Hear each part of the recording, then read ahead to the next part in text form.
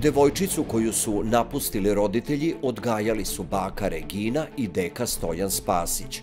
Spas i utehu za roditeljskom prazninom popunjavala je odlaskom u crkvu. Pevala je u crkvenom horu i učila veronauku.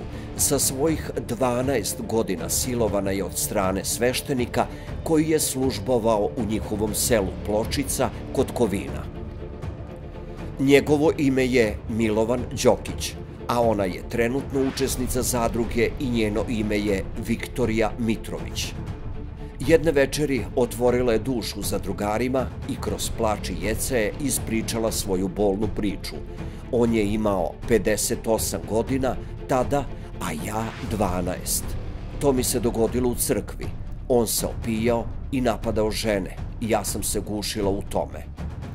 Jeziva priča otkrivena je 2014. godine kada se tada 12-godišnja devojčica poverila tetki, nakon čega su njeni baka i deka, inače njeni staratelji, prijavili nasilnika policiji i parohiji u Smederevu.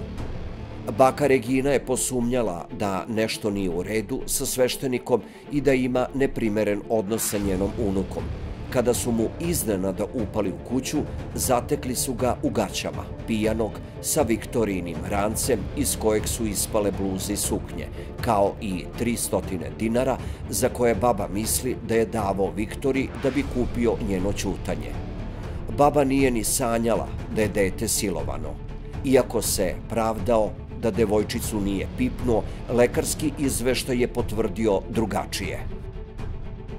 Nakon što su meštani saznali za ovaj gnusan zločin, proterali su Popa Đokića iz sela, a na njegovo mesto došao je drugi sveštenik.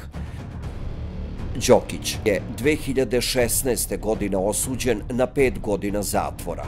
Ove godine je izašao iz zatvora i pošto su ga ostavili žena i troje dece, pobegao je iz Srbije i pretpostavlja se da se vratio u svoj rodni kraj – negde u Bosni i Hercegovini. Pratite naš kanal i playlistu Crne priče.